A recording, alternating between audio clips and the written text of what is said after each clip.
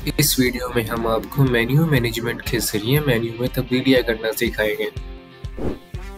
Menu management के ज़रिए आप अपनी आसानी के मुताबिक सिर्फ़ चंद क्लिक्स में एक दो दिन के अंदर मेन्यू में तब्दीलियाँ कर सकते हैं। जहन बदलने की सूरत में अपनी दरख्वास्त को अप्रूवल से पहले एडिट कर सकते हैं। अपनी दरख्वास्त को बसानी ट्रैक कर सकते हैं। आइए मेन्यू मैनेजमेंट की दरख्वास्त के तरीके पर नज़र डालते हैं।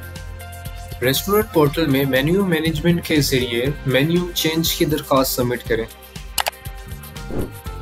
एक, दो कारोबारी वर्किंग डेज़ में हमारा एजेंट आपकी दरख्वास्त को रिव्यू कर देगा। एक दफ़ा चेंजेस अप्रूव हो जाने के बाद हमारे फ़ूड पेंडा प्लेटफॉर्म पे आपका मेन्यू अपडेट हो जाएगा।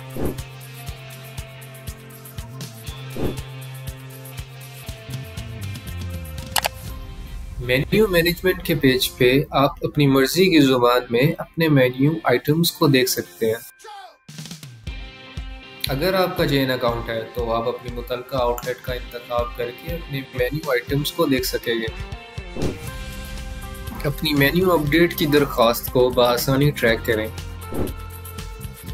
अपनी दरख्वास्त को सबमिट करने के बाद उसका स्टेटस मालूम करने के लिए जिस आइटम में तब्दीलियाँ की है, उस पर क्लिक करें या रिक्वेस्ट सेक्शन से रिज्यू करें।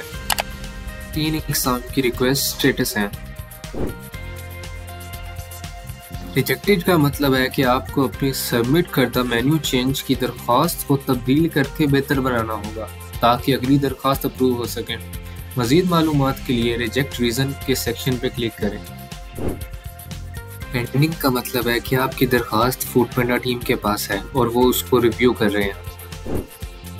अप्रूव्ड का मतलब है कि हमारे फ़ूड पेंडा प्लेटफॉर्म पे आपका मेन्यू हो गया है।